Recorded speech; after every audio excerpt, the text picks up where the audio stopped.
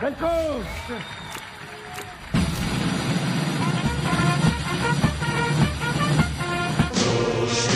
الدنيا أنه لا نحيا.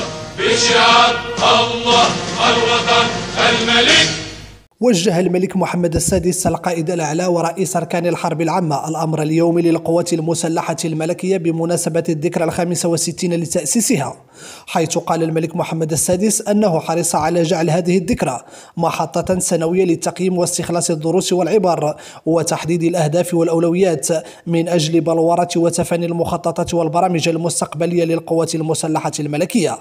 جاعلا نصب أعينه التطوير المستمر لقدرات الجيش وتمكينه من الوسائل والتجهيزات وتكوين وتعبئة أفراده وجعلهم على مسيرة المستجدات ورفع التحديات.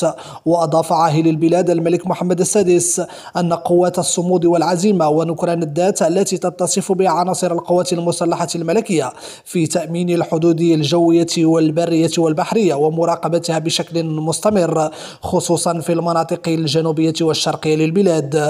وما تقدمه من تضحيات في سبيل إعلاء راية الوطن خفاق في جميع أقاليم المملكة. ما تنسوش تتابعونا في قناة اليوتيوب ديالنا وفعلوا خاصية الجرس باش يوصلكم كل جديد. ديروا شير الفيديو وبارتاجوا الفيديو مع أصحابكم في مواقع التواصل الاجتماعي.